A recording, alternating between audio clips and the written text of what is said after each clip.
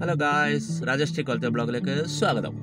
നമ്മൾ പ്രത്യേകിച്ച് ഒരു റോഡിൽ യാത്ര ചെയ്യുമ്പോൾ പ്രത്യേകിച്ച് ശ്രദ്ധിക്കേണ്ടത് ഇതുപോലുള്ള ബോർഡുകൾ ശ്രദ്ധിക്കണം. ഹൈവേയിലും നമ്മുടെ എല്ലാ റോഡുകളിലും ഇങ്ങനെയുള്ള ബോർഡുകൾ കാണും. ഇപ്പോൾ ഈ റോഡിൽ കാണുന്ന സൈൻ ഒന്ന് ശരിക്കും ശ്രദ്ധിച്ച് വായിച്ചേക്കാം. നേരെ പോയാൽ കണ്ണവരം ഇടതു ഭാഗത്ത് പോയാൽ കിച്ചേരി ഇടതു ഭാഗത്തെ റോഡിലേക്ക് തന്നെ കിച്ചേരി റോഡിൽ പോയി കഴിഞ്ഞാൽ നമുക്ക് കണ്ണൂർ എത്താം.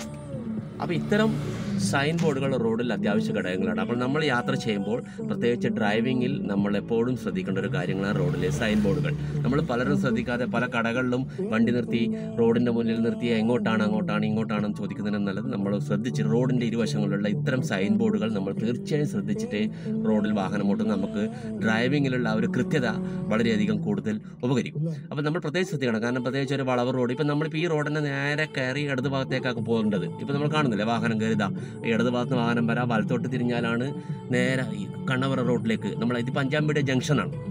കണ്ട വാഹനങ്ങൾ കൂടുതൽ വരുന്നൊരു സമയ സ്ഥലമായിരിക്കും. അപ്പോൾ നമ്മൾ ഒരു വണ്ടി കൺട്രോൾ ചെയ്യേണ്ടതും ഒരു വണ്ടി മൂവിങ് ഇത്തരം കാര്യങ്ങളെല്ലാം നമ്മൾ ഇത്തരം ജംഗ്ഷനിൽ മനസ്സിലാക്കാൻ നമുക്കൊരു ഉപകരിക്കും. പ്രത്യേകിച്ച് ഇത്തരം സൈൻ ബോർഡുകളൊക്കെ വായിക്കുമ്പോൾ നമ്മുടെ വണ്ടി സ്ലോ ആവുക നമ്മൾ ഗിയർ ചേഞ്ച് ചെയ്യേണ്ട കാര്യങ്ങൾ പ്രത്യേകിച്ച് ശ്രദ്ധിക്കുക.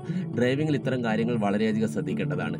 അപ്പോൾ എന്റെ ഈ ചെറിയ ഡ്രൈവിംഗ് ടിപ്സിൽ ഈ ചെറിയ അറിവുമായി നിങ്ങളുടെ മുന്നിലെത്തിയിരിക്കുകയാണല്ലോ. എന്റെ ചാനൽ സബ്സ്ക്രൈബ് ചെയ്യാൻ മറക്കരുത്. തീർച്ചയായും രാജേഷ് ടെക്വാൾച്ച ബ്ലോഗിൽ ഇത്തരം പുതിയ അറിവുമായി വീണ്ടും നിങ്ങളുടെ മുന്നിലെത്തും. നന്ദി ശുഭദിനം.